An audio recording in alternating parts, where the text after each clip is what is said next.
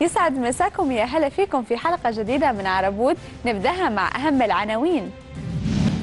شائعات هزت الوسط الفني في عام 2013 الممثل شيا لابيف متهم بسرقة قصة فيلمه القصير. هل ورط زياد الرحباني والدته فيروز سياسيا؟ المغنية ريهانا خصصت ثلاث غرف في شقتها لثيابها برنسات وعرض إعلاني ب 4 مليون دولار أمريكي. عمرو دياب تفوق على ريهانا بس كيف؟ عبد العزيز جاسم يعود من خلال أوراق من الماضي. كثيرة هي الشائعات اللي ترافق الفنانين خلال مسيرة حياتهم الفنية ويعتبر بعض هذه الشائعات ضريبة الشهرة والبعض الآخر يعتبر أنها تدخل واضح في حياتهم الشخصية بقصد الإساءة.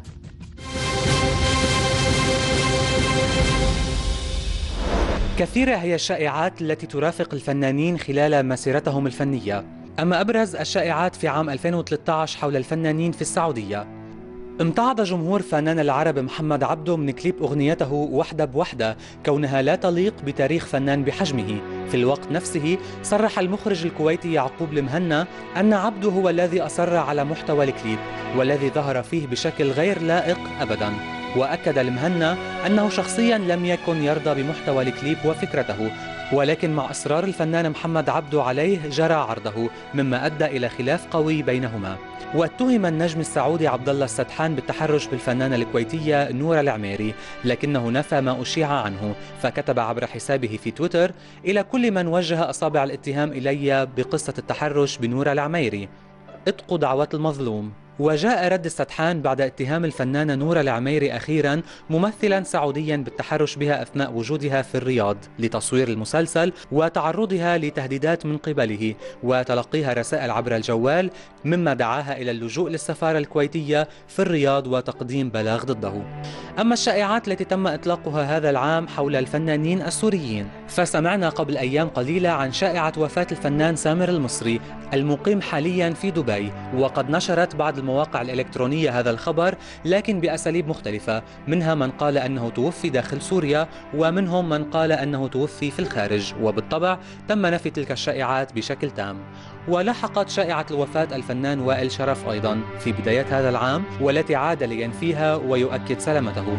أما الشائعات التي تم إطلاقها حول فنانين من مصر فبعد شهور قليلة من زواج تامر حسني من بسمة بوسيل فوجئ الزوجان بشائعات كثيرة تلاحقهما وتؤكد انفصالهما إلى أن تامر رفض الرد على هذه النوعية من الشائعات أو التعليق عليها وقرر أن يتجاهلها تماما. كما فوجئت الفنانة بشرى بمطاردة الشائعات لها أيضا وتردد خبر انفصالها عن زوجها بسبب رفضها اعتزال الفن وتمسكها بالاستمرار في هذا المجال. بشرى تعرضت لهذه النوعية من الشائعات أكثر من مرة إلا أنها حرصت على الرد على هذه الشائعة حيث عبرت عن استيائها الشديد من نشر العديد من الصحف والمواقع الإلكترونية هذا الخبر التي وصفتها بالكاذبة والسخيفة دون التأكد من صحتها. موضحة أنها تعيش أسعد أيام حياتها مع زوجها عمر رسلان. نفت الفنانة أمل حجازي ما نقل عنها بأنه من حق أي فتاة أن تمارس الجنس قبل الزواج وأوضحت هذه أكبر شائعة تعرضت لها. أعوذ بالله أقمت دعاوى قضائية على كل من كتب هذا. أنا امرأة مؤمنة وأخاف الله. وضد العلاقات قبل الزواج. استغفر الله العظيم. انتشر خبر طلاق النجمة السورية ديما الجندي من زوجها المخرج فراس دهني بسبب وجود طرف ثالث في حياتهما وهو النجمة السورية التي طلقت منذ فترة نسرين طافش. هل صحيح أن الممثل شيا لابوف متهم بسرقة قصة فيلمه القصير؟ خلونا نشوف تفاصيل. بطل ترانسفورمر شايا لاباف ضبط بسبب سرقته لقصة فيلمه القصير الأخير. الممثل الذي انتقل الآن إلى وراء الكاميرا. أصدر مؤخرا فيلما قصيرا اسمه Howard Cantour dot com ونسب لنفسه الكتابة والإخراج. ولكن بعد ساعات على إصدار الفيلم أشار معجبو الكاتب دانيال كلوز إلى شبه بينه وبين كتاب كوميدي صدر عام 2007 قال الكاتب إنه لم يسبق له أن شاهد أحد أفلام لابوف وقد صدم لرؤيته يأخذ نصه والكثير من المؤثرات وأن ينسبها لشخصه. الممثل اعتذر عبر تويتر وعبر عن أسفه لأنه لم ينسب القصة إلى دانيال كلوز ولكن الكاتب الحقيقي لم يزل غير راض وقال ناطق باسمه إن اعتذار شايع غير محسوب وهو قد غفر لنفسه حقيقة تضليله للناس فيما يخص أصل الفيلم. الكاتب أبدى نيته بأخذ الممثل إلى المحكمة لتصفية الحساب. أثار تصريح للفنان زياد الرحباني. كشف فيه عن حب والدته السيدة فيروز للسيد حسن نصر الله الكثير من التعليقات فكيف رد زياد على الهجوم اللي تعرض له مع والدته؟ في أول تعليق للموسيقي زياد الرحباني على الزوبعة التي أثارتها مقابلته مع موقع العهد عندما قال أن السيدة فيروز تحب السيد حسن نصر الله. تحدث زياد الرحباني إلى الإعلامي سامي كليب وهذا أبرز ما جاء في المقابلة. في بداية الحديث اعتبر أن هناك كمية من الناس الفاضيين أو العاطلين عن العمل فجاء هذا الكلام ليعبئ لهم وقتهم. وأسوأ ما في هذه القصة أن هؤلاء الناس لا زالوا موجودين. واعتبر زياد أن هناك هدف من هذه الحملة ومشكلة تكمن في من لا يملك بوقا للرد على هذه الاتهامات. ولفت إلى أن المدونات اليوم مجوهرين من كثرة ما تكلموا عن السيدة فيروز. وأشار زياد إلى أن لو أجرت سي أن أن إحصاء اليوم لتبين أن السيدة فيروز والسيد حسن نصر الله أفضل شخصيتين في لبنان في آخر مئة سنة. وعن ما ورد في مقال فواز طرابلس عن أن السيدة فيروز والرحابنة وعلاقتهم بالنظام السوري تساءل زياد شو عرفوا بعلاقة فيروز مع النظام السوري والبعث العراقي؟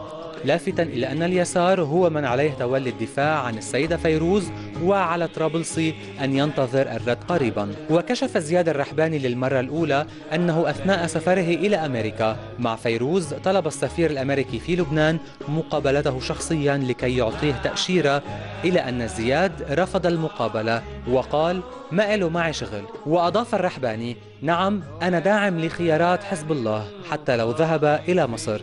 وتابع من يهاجم فيروز والسيد نصر الله يدافع عن إسرائيل. وعن سبب تحدثه بالنيابة عن فيروز قال زياد أتحدث عن فيروز لأنها تفضل الصمت وعندما ينطق الأصيل يسكت الوكيل. وعن أحداث سوريا ولبنان قال الرحباني الآن نحن وسوريا بلد واحد 200% وأشار إلى أن الوضع سيء في سوريا ولكن ستكون له نهاية بعد أشهر. وعند سؤاله إذا ما كانت فيروز مع المقاومة أكد الرحباني قائلا أكيد فيروز مع المقاومة.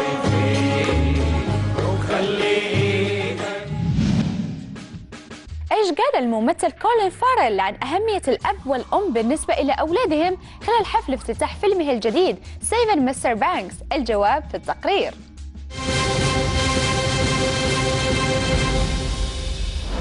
كولين فارل يتشارك البطولة مع توم هانكس وإيما تومسون في فيلمه الأخير Saving Mr. Banks ويلعب دور روبرت جوف السيء المزاج والمدمن على الكحول. وفي الوقت نفسه الوالد المحب لباميلا ترافرز مؤلفة ماري بوبنز. حين كان يجري بحثا حول دوره توقف عند أهمية الأب والأم بالنسبة إلى الأولاد. وقال إن فكرة الفيلم الأساسية هي أهمية هذه العلاقة. قال كولين خلال العرض الأول للفيلم. You know, I was so influenced by my father and so influenced by my mother, and we all are. And, you know, parents offer children context, and vice versa. Children give their parents context as well. So, with that in mind, I think the things that take place in our early years are things that we carry for the rest of our lives. And that's more what the film to me is about rather than the creative process of bringing this to the screen and how volatile it was. It's really more about the relationship between parents and their children and how we carry all those things for the rest of our lives that we saw and that we heard. And that we... بعد الفاصل هل صحيح أن ريهانا خصصت ثلاث غرف من شقتها لثيابها؟ وكيف تفوق عمرو دياب على ريهانا؟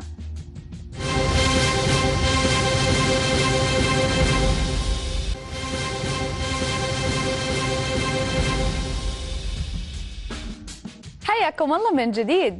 أكدت الفنانة قمر أن قضية إثبات نسب أبوة رجل الأعمال المصري جمال مروان لطفلها جيمي لم تنتهي وقالت لقد قمت بكل الإجراءات المطلوبة مني وقد خضعت جيمي لفحص دي إن إي لكن جمال مروان رفض المواجهة بعد استدعائه وهو ممنوع من دخول مصر حاليا ويقيم في أمريكا. وأضافت قمر حتى آخر يوم في عمري راح أقول جيمي هو ابن جمال مروان وبإمكانه الهروب لكنه لا يستطيع إثبات العكس. وفي سؤال عن أجمل رجل رأته في حياتها قالت قمر جمال مروان فهو جذاب للغاية وأجمل رجل شافته عينين حقق ألبوم الأخير للفنان المصري عمرو دياب الليلة نجاح باهر هذا العام وصنف الألبوم الأكثر مبيعا خلال 2013 وفقا للآيتيونز في مصر. وقد تفوق دياب على العديد من الفنانين العرب مثل رابح صقر، أحلام محمد عبده والغربيين مثل ريهانا، جاستن تامبرليك، مايكل بوبلي وغيرهم. أكد والد الإعلامي المصري الساخر باسم يوسف عن تفاصيل عودة برنامج البرنامج حيث قال المستشار رأفت يوسف رئيس محاكم القضاء الإداري بمجلس الدولة الأسبق ووالد يوسف. اتفق باسم مع إحدى القنوات على أن يعود البرنامج للعرض في فبراير الجاي. ورفض المستشار الإفصاح عن اسم القناة اللي انتقل إليها ابنه وأكد أن باسم يوسف يرفض التدخل في عمله من شكرت الممثلة سكارليت جوهانسون على بشرتها الخالية من العيوب إيش سبب الهجوم اللي تعرضت له جيسيكا هارت من معجبي المغنية تايلور سويفت؟ وهل صحيح أن ريهانا خصصت ثلاث غرف في شقتها لثيابها؟ نشوف سوا التفاصيل إذا سكارلت يوهانسون تقول إنها تريد أن تشكر أمها على بشرتها الخالية من العيوب وعلى أسلوب الحياة الصحي. علمتها أمها منذ أن كانت صغيرة على أهمية شرب الكثير من المياه وهي برهان حي. إذ تقول سكارلت إنها تملك البشرة الأفضل على الإطلاق وليس هذا فقط. فقد أعطتها نصائح حول تنظيف فراش التبرج كل أسبوعين. وهذا ساعد سكارلت على الحفاظ على جمالها كثيرا. سيدة يوهانسون نحييك. والآن إلى سيئتي السمعة جيس هارت وتايلور سويفت. سمعت جيس وهي تقول إنها لا ترى تايلور مناسبة لعرض أزياء فيكتوريا سيكريت وهذا لم يعجب المعجبين بتايلور وعددهم كثير. جيس آسفة جدا لما قالته وهي بالطبع لن تقول أمورا مسيئة بعد الآن. أخيرا لنلقي نظرة على الثياب التي لا تعد لدى ريانا. يبدو أن ملكة ال R&B حولت ثلاث غرف نوم من أصل أربعة في شقتها في مانهاتن إلى مكان لكل ثيابها وأحذيتها. ريانا تحب العيش في نيويورك وتفكر في الانتقال إليها لأنه من الأسهل زيارة عائلتها في بربادوس. السؤال حين تنتقل إلى هناك. هاري ستايلز يربح دعوى قانونية ضد الباباراتزي التفاصيل في التقرير.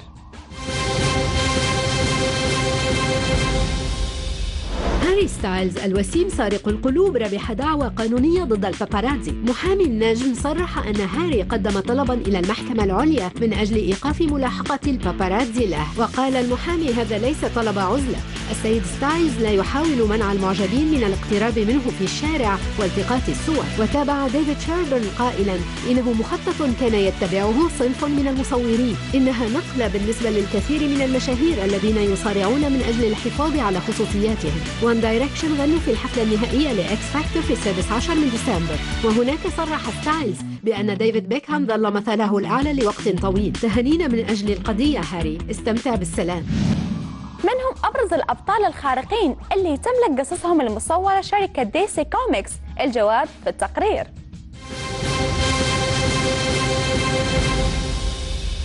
هذا هو شعار DC Comics المشهور.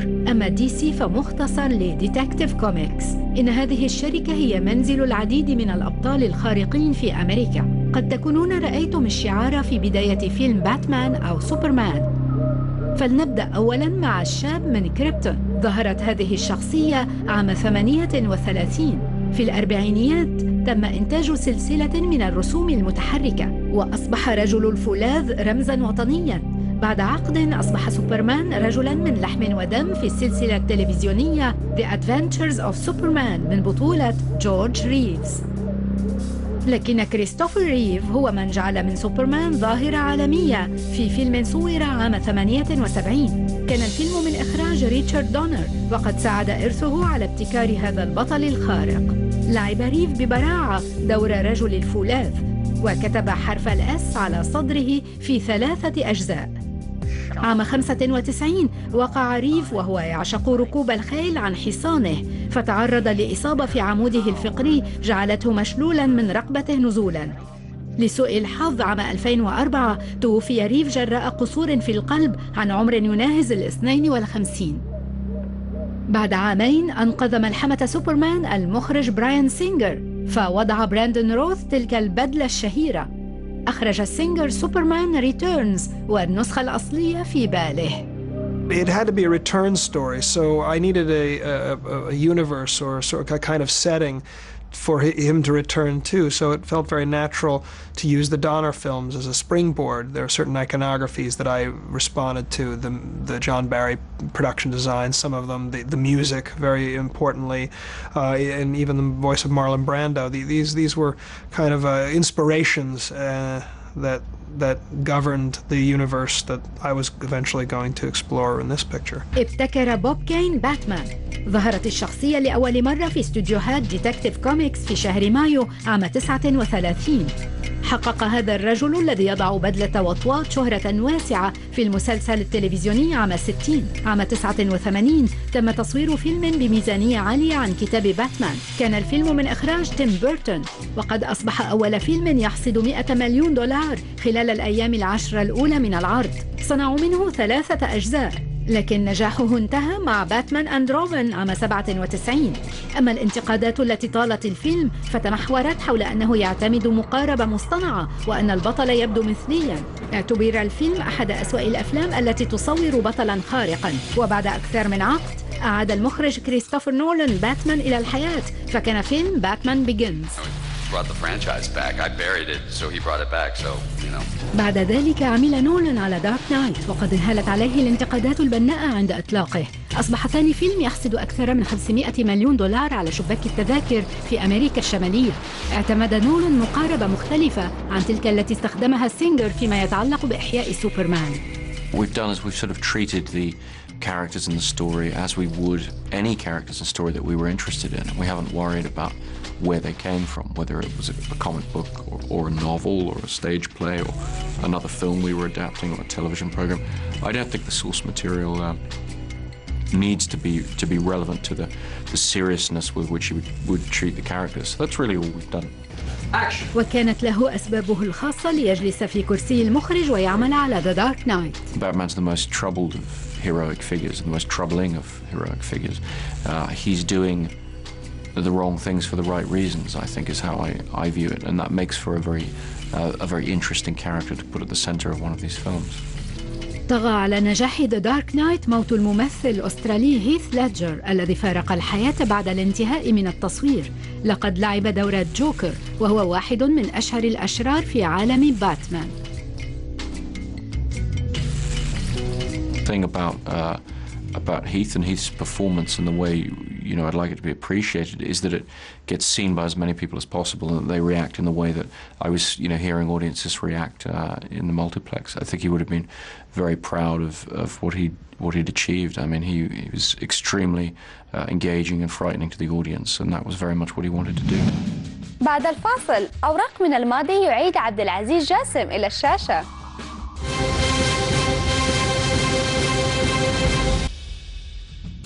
يا هلا فيكم بعد الفاصل. يعود الممثل الكبير عبد العزيز جاسم من خلال مسلسل أوراق من الماضي بعد غياب فترة عن الشاشة ويشارك عدد من الممثلين الخليجيين المميزين. تقرير عن كواليس التصوير.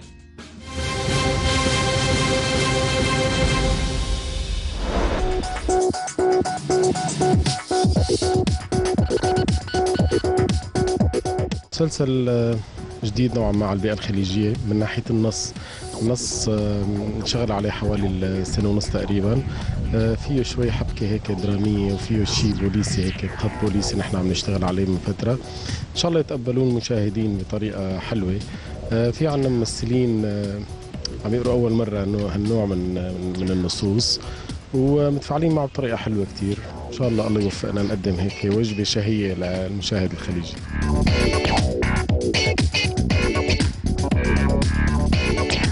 مسلسل غريب من نوعه لأن مسلسل طبعا اللي خارج رمضان. آه، مسلسل في إثارة في يعني في تشويق في أكشن. وأول مرة أنا أقوم بالأدوار هذه. يعني في غموض في العمل. آه، مسلسل لأن أنا حبيته لأن في جديد نقدمه للناس يعني. آه، أتوقع إن شاء الله يكون من الأعمال المهمة السنة هذه يعني.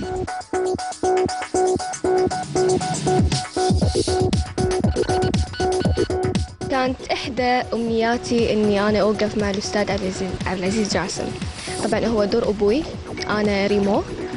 آه، بنت جامعية بنت فاهمة بنت عاقلة. آه، هي وحيدة آه، أمها وأبوها وكذي. وشخصية جدا رائعة يعني غيرت شوي من الشخصيات يعني حسين كلها تطلع شخصية المسكينة الطيبة مش عارفة إيش أنا طيبة هني بس عاقلة وايد. الحلو في هذا العمل وفي شخصية مشاعل اللي قاعدة أشتغل فيها أنه آه، يمكن الناس تعودت عليه يا شريرة يا طيبة وايد. آه، المرة هذه آه، شخصية مشاعل فيها كثير من الغموض والمشاهد راح يتساءل شنو هذه الشخصية؟ آه، ما يفهم هذه الشخصية هل هي طيبة هل هي قاعدة تلعب؟ طبعا أنا ما راح أحرق عليكم العمل لكن في جريمة قتل, قتل تصير بهذا العمل وتتهم شخصية مشاعل بهذه الجريمة. أخلي للمشاهدين يكتشفون من اللي قام بهذه الجريمة.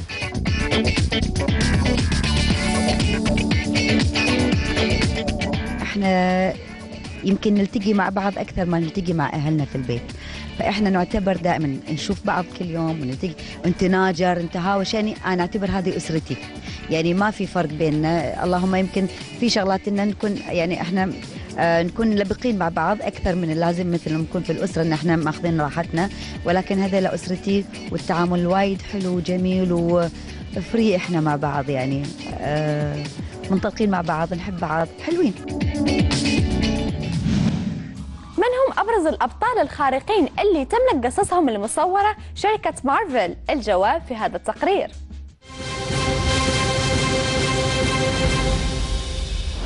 على عشاق السينما أن يكونوا شاكرين لشركة مارفل فهي الشركة المنتجة الأولى للكتب الهزلية الأمريكية والإعلانات ذات الصلة.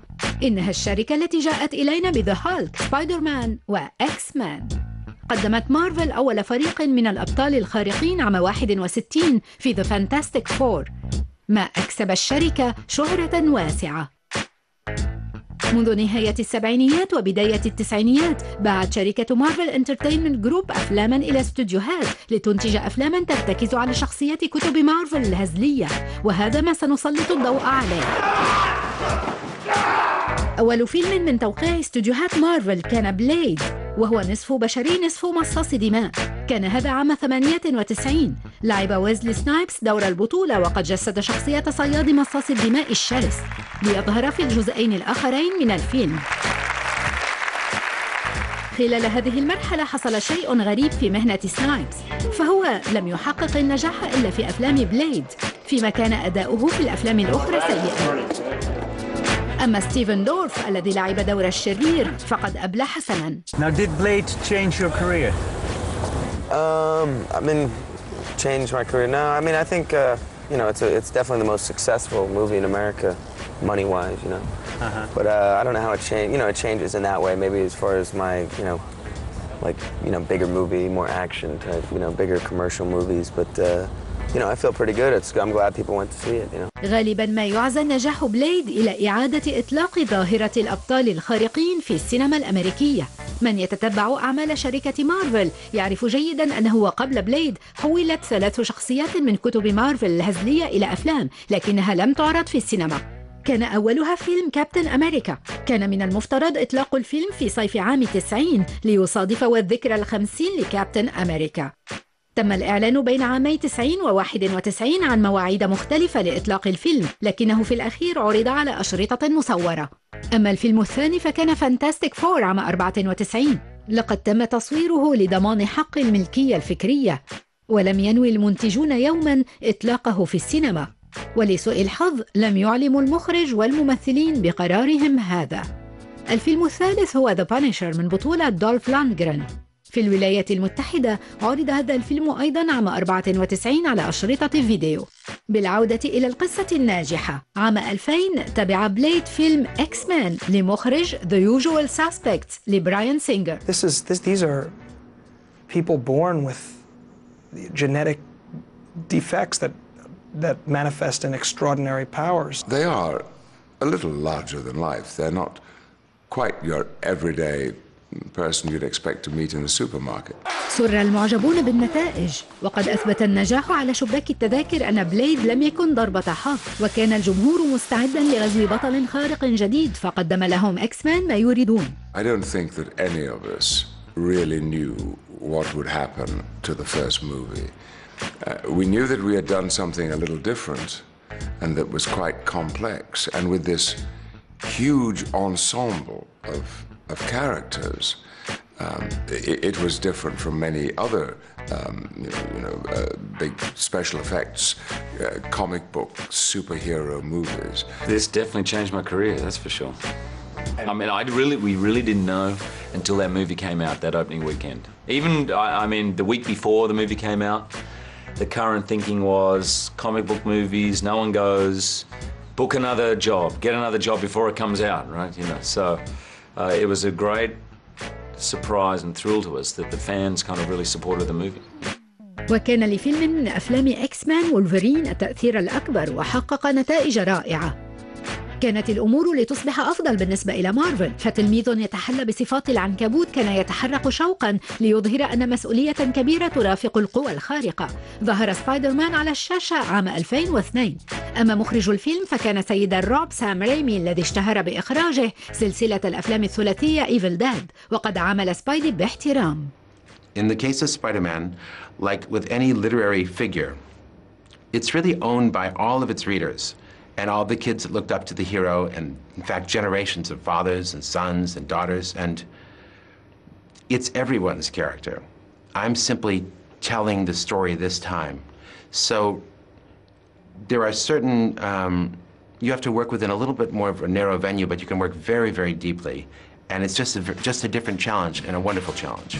حققت سلسلة أفلام سبايدر مان الثلاثية حوالي مليارين ونصف مليار دولار عالمياً.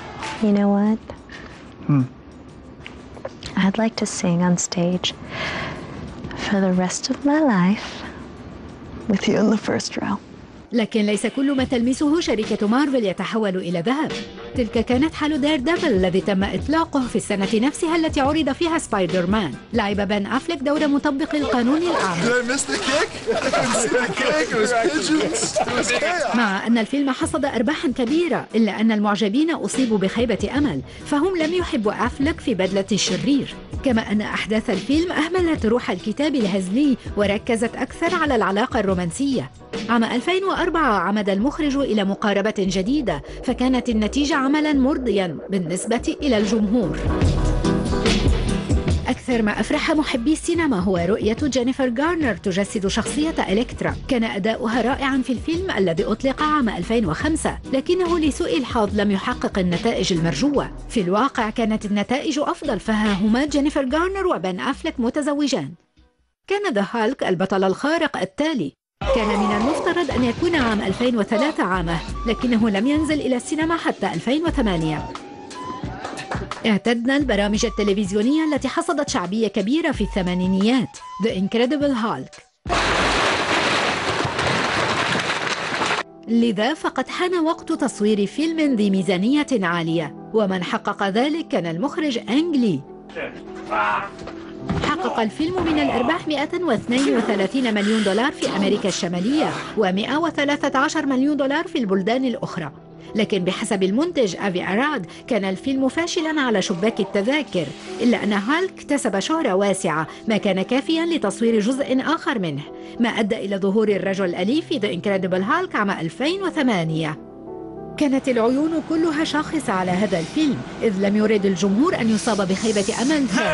هذه المرة لعب إدوارد نورتون دور الوحش الأخضر وقد نجح في ذلك بمساعدة قسم المؤثرات الخاصة. أراد منتجو الفيلم مزيدا من التشويق إذ كان هذا ما ينقص نسخة أنجلي.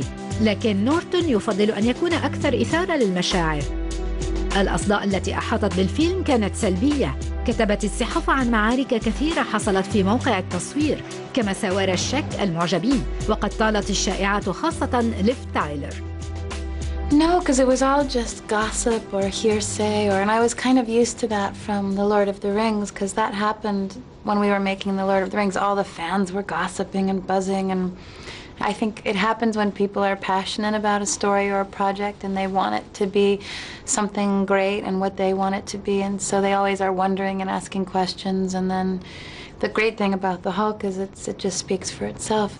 في السنوات اللاحقة حقق أبطال مارفل الخارقون أرباحا طائلة على شباك التذاكر تم تقديم فانتاستيك فور وغوست رايدر إلى الجمهور وأحب عشاق السينما أكس مان وسبايدر مان وبليد عام 2006 بلغت مارفل نقطة تحول أراد المسؤولون في الشركة أن يحكموا سيطرتهم أكثر على أفلامهم والشخصيات فيها. رأى آيرون مان أقل الأبطال الخارقين شهرة النور عام 2008 لكن شيئا بدا مختلفا.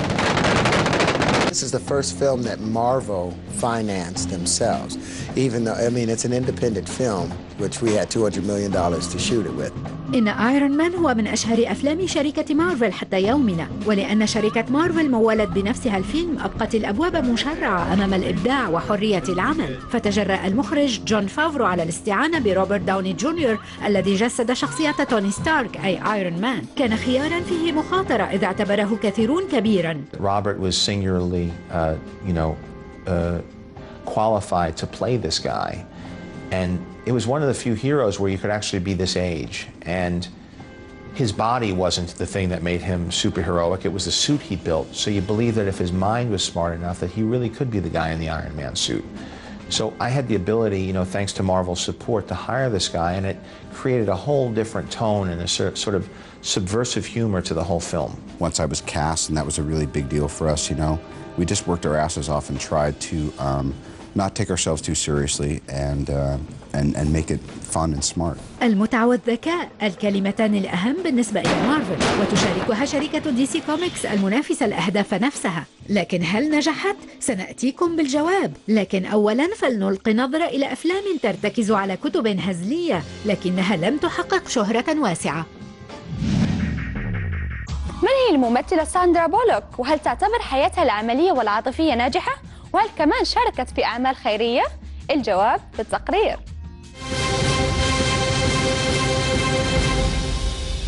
كانت مقنعة بدور عميلة ال FBI كما وحلقت بعيدا في الفضاء وما زالت تبدو مدهشة. إنها النجمة الفائزة بأوسكار ساندرا بولوك. ولدت ساندرا في فيرجينيا وتمتد جذورها من حول العالم. فوالدها من ألاباما لكن يجري في عروقه دم إنجليزي وإيرلندي وألماني وفرنسي في حين أن أمها ألمانية. في صغرها سافرت كثيرا إلى ألمانيا مع أمها لهذا تكن حبا كبيرا لتلك البلاد وتجيد لغتها. ساندرا ناجحة في حياتها العملية فقد حصدت جائزة أوسكار وهي على ما يبدو تمضي حياة رائعة. لكنها عانت كثيرا عند اكتشافها خيانة زوجها جيسي جيمس لها فطلبت الطلاق. تقوم ساندرا منذ سنوات بكثير من الأعمال الخيرية وقد تبرعت بمليون دولار للصليب الأحمر الأمريكي في أربع مناسبات مختلفة. نتابع حلقتنا لليوم من عرب وود مع أخبار المشاهير الأتراك. التفاصيل كلها في هذا التقرير. تعتبر النجمة التركية برنسات أي فاطمة الأكثر طلبا بين النجمات كوجه إعلاني لأهم الشركات. تلقت النجمة المعروفة مع خطيبها مغني البوب التركي كينان دوغلو عرض إعلاني من قبل شركة إنشاءات بقيمة 3 ملايين دولار أمريكي.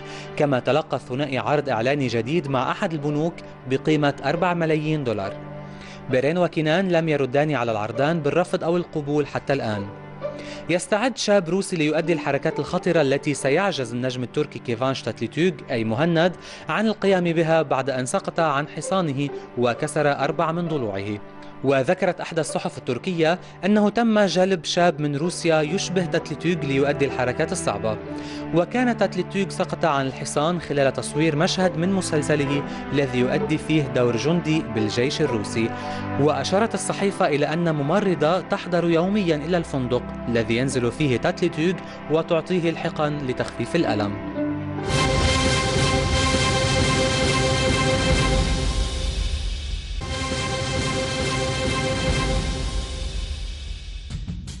حياكم الله في القسم الأخير.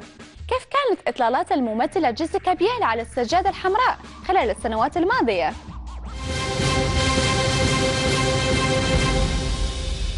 إنها ممثلة هوليودية في الثلاثين من العمر شاركت في Seventh Heaven وتعرف كيف تفلت من المنشار وهي من انتظرها جاستن تيمبرليك عند المذبح.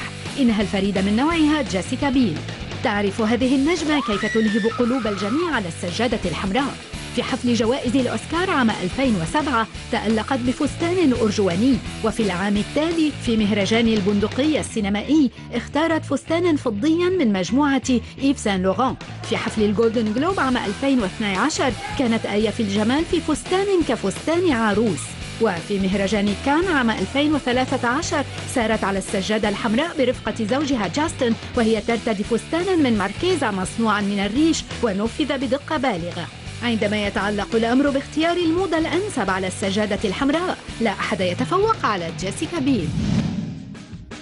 سيمون كويل يحرص دائما على أن تكون كلابه سعيدة. ديفيد بيكهام يسيطر على إظهار مشاعره وهاري ستايلز يغار منه. نشوف التفاصيل.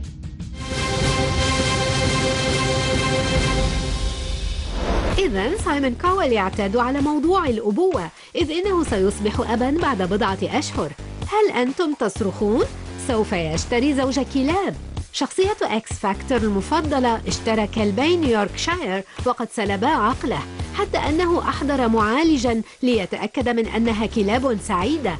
يا للجراء المحظوظة لنأمل أن والدهما لن يفقد صوابه. والآن بيكس الذي يسيطر على إظهار المشاعر في أكثر من مناسبة.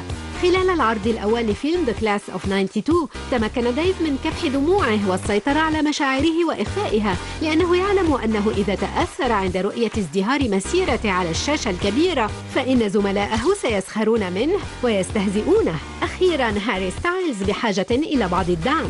الشاب الجذاب ذو الشعر المجعد كان يعتبر بيكس كمثل أعلى وكأكثر الشخصيات المحببة لديه. ولكن بما أنه يعلم أن بيكس على رأس اللائحة بالنسبة لكل الشباب تحت سن التاسعة عشرة فقرر أن يختار شخصا آخر يحتذي به.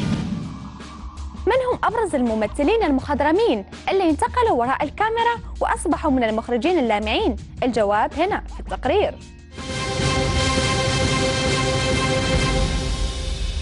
يبدو أن كل ممثل يرغب في الانتقال إلى قافلة الإخراج لكن لا شيء جديد في هذا. ففي بداية القرن العشرين هذا ما فعله تشارلي تشابلن وكذلك جمع أورسون ويلز بين التمثيل والإخراج. وتبين أنها خطوة ناجحة إذ حقق فيلمه Citizen Kane شهرة واسعة. عام 55 ظهر ممثل على الشاشة الكبيرة كان ممثلا ومخرجا في الوقت نفسه كلينت إيستوود. أكثر ما اشتهر فيه هو أدواره في أفلام ال western منها A Fistful of Dollars و The Good, The Bad and The Ugly. بدايته الإخراجية لم تكن بروعة بدايته في التمثيل لكن موهبته بدت واضحة في فيلمي The Gauntlet و Play Misty For Me.